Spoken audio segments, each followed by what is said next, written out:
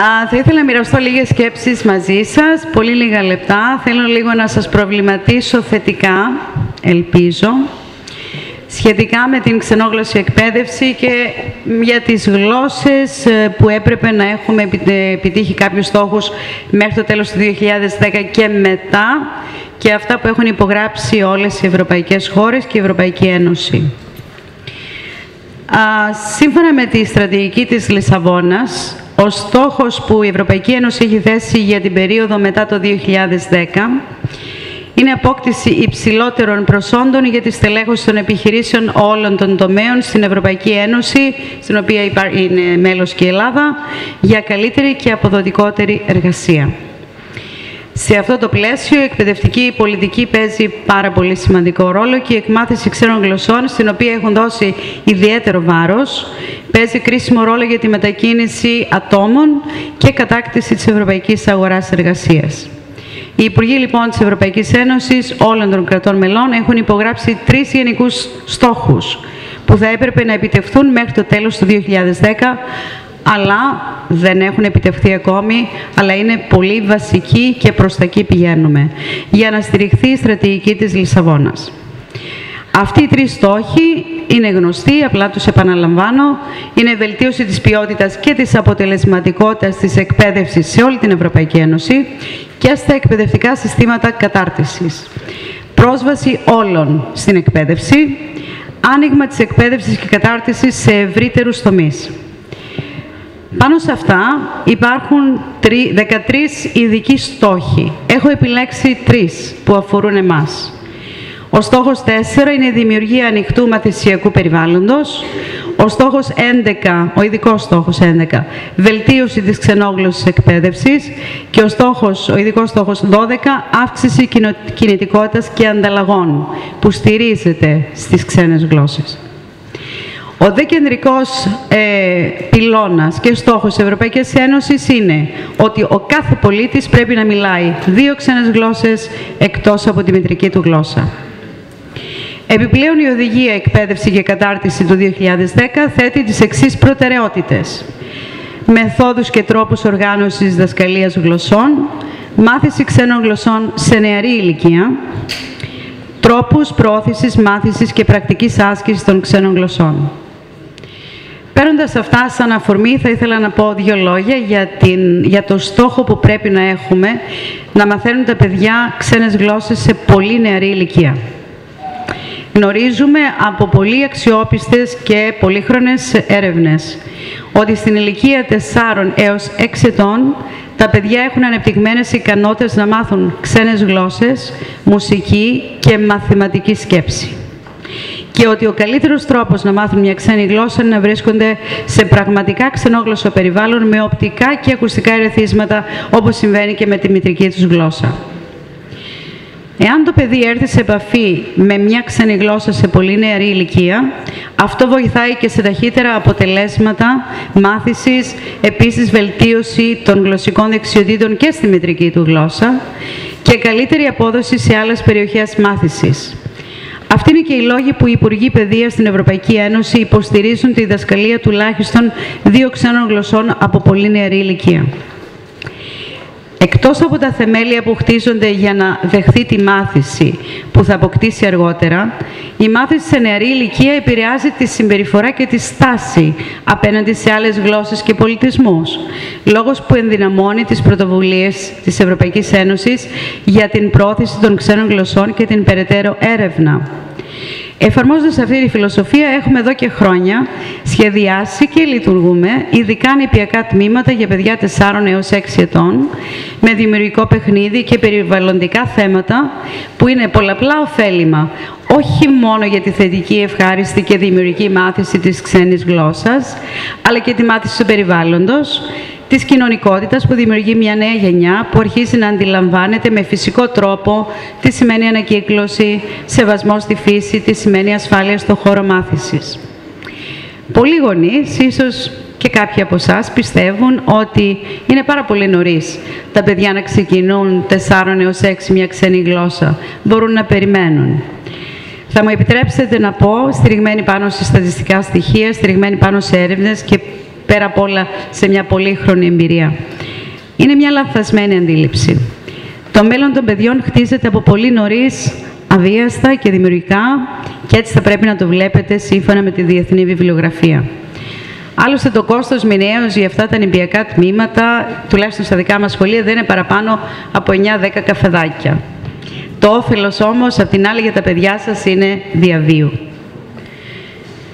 Ένα δεύτερο, ε, μια δεύτερη σκέψη που θα ήθελα να μοιραστώ μαζί σας είναι η πιστοποίηση προσόντων σε ξένες γλώσσες. Η άριστη γνώση σε δύο ξένες γλώσσες και η πιστοποίησή τους έχει πολλαπλά ωφέλη για όλους. Η άριστη ε, γνώση σύμφωνα με το ευρωπαϊκό πλαίσιο ε, επιστοποίησης είναι το γάμα 2, το C2, το proficiency, το overstufe, το superiore. Πέστε ποιο άλλο είναι. Superiore ακαδέμικο. Τέλος πάντων, ε, το ανώτατο σε κάθε γλώσσα που κάποιος σπουδάζει. Ε, έχουμε λοιπόν πάρα πολλές ομάδες που χρειάζονται άμεσα την πιστοποίηση τους φοιτητές, το ενεργό εργατικό δυναμικό, το δυνητικό εργατικό δυναμικό, τους επιχειρηματίες, γιατρούς, αρχιτέκτονες, επαγγελματίες. Οι φοιτητές, οι αυριανοί μας φοιτητές, είναι μέσα σε αυτή την αίθουσα. Δεν είναι μόνο οι φοιτητές που σπουδάζουν αυτή τη στιγμή στα πανεπιστήμια. Σε όλες τις πανεπιστημιακές σχολές είναι υποχρεωμένοι να ανατρέχουν σε βιβλιογραφία, για να ανταποκρίνουν τις απαιτήσεις των εργασιών τους στις πανεπιστημιακές τους σπουδές. Η βιβλιογραφία γνωρίζουμε όλοι ότι περισσότερο τη βρίσκουμε σε ξένες γλώσσες και το συντριπτικό, η συντριπτική πλειοψηφία είναι στην αγγλική γλώσσα. Χρειάζεται λοιπόν ήδη πριν να πάνε στο πανεπιστήμιο να έχουν άριστη γνώση στην ξένη γλώσσα. Δηλαδή, στο επίπεδο C2, proficiency στην προκειμένη περίπτωση, για να μπορούν να ανταποκριθούν όπως πρέπει. Αυτή την άριστη γνώση οι περισσότεροι μαθητές μας την εξασφαλίζουν στην ηλικία 14-15 και τη δεύτερη ξένη γλώσσα 16-17. Κάποιοι από αυτούς το αφήνουν για μετά. Και αυτό καλό είναι. Απλά όσο πιο εξοπλισμένα πάνε τα παιδιά ε, να σπουδάσουν τόσο καλύτερα είναι για αυτούς. Ε, επιπλέον, έχουν και άλλες ευκαιρίες. Όλοι γνωρίζουμε την τοποθέτηση φοιτητών Εράσμους, που έχουν το δικαίωμα από αναγνωρισμένες πανεπιστημιακές σχολές να τοποθετηθούν για διάστημα μέχρι 12 μηνών σε πανεπιστήμια του εξωτερικού, είτε στα πλαίσια των σπουδών τους, είτε αν έχουν τελειώσει τις σπουδές τους, μετά την αποφύτισή τους για πρακτική άσκηση.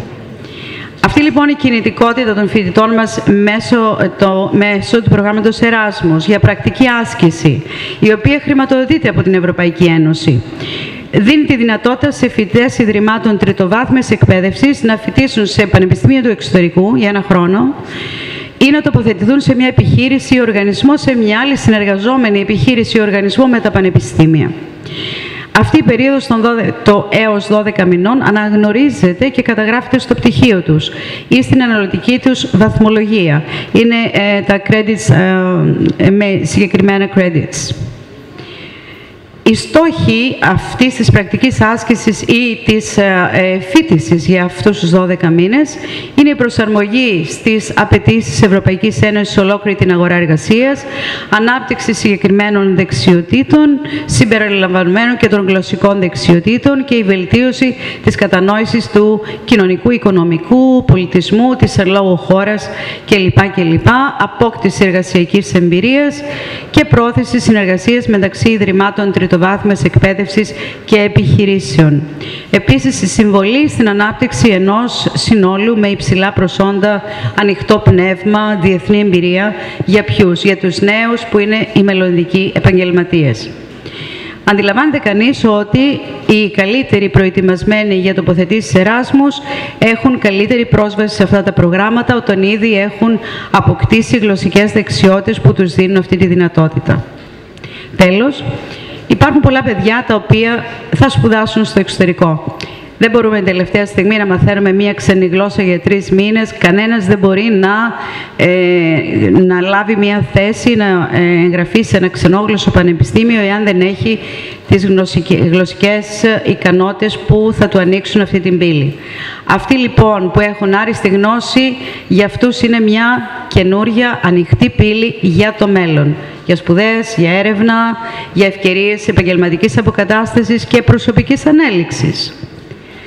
Το ενεργό εργατικό δυναμικό. Υπάρχουν πάρα πολλοί άνθρωποι στο δημόσιο και στον ιδιωτικό τομέα που γνωρίζουν γλώσσες, ομιλούν άριστα γλώσσες, αλλά δεν έχουν πιστοποιήσει τα προσόντα τους. Και, και για αυτούς υπάρχουν προγράμματα, ούτως ώστε με λίγους μήνες να μπορέσουν να βοηθηθούν και να ε, κάνουν αιτήσεις για πιστοποίηση των προσόντων τους. Το δυνητικό εργατικό δυναμικό, για να μπορεί να συμμετέχει σε δημόσιους διαγωνισμούς και προκηρύξεις, θα πρέπει επίσης, αν όχι δύο γλώσσες, τουλάχιστον μία, έστω σε επίπεδο Β2. Επίσης, επιχειρηματίες. Οι επιχειρηματίες θα πρέπει να αποκτήσουν γλωσσικές δεξιότητες σε ξένες γλώσσες για την επέκταση των επιχειρηματικών τους δραστηριοτήτων, εντός και εκτός χώρας, για να έχουν πλήρη έλεγχο και των προϊόντων που εισάγουν ή εξάγουν, τον έλεγχο του περιεχομένου των συμφωνιών που υπογράφουν και να μπορούν να συναλλάσσονται με πελάτες από το εξωτερικό, με τράπεζες και άλλα χρηματοπιστωτικά ιδρύματα. Μάθηση για όλους. Τέλος, στη διαβίου μάθηση όλοι έχουμε προσδοκίες και σχέδια για τον εαυτό μας.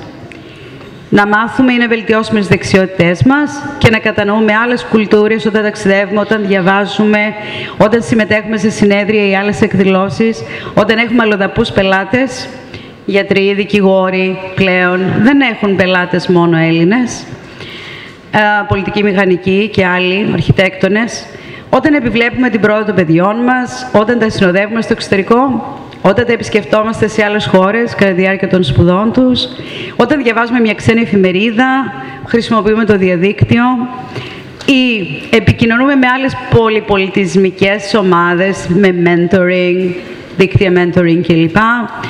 Ή όταν θέλουμε να σπουδάσουμε στο ανοιχτό πανεπιστήμιο. Όλη η βιβλιογραφία είναι στην ξένη γλώσσα.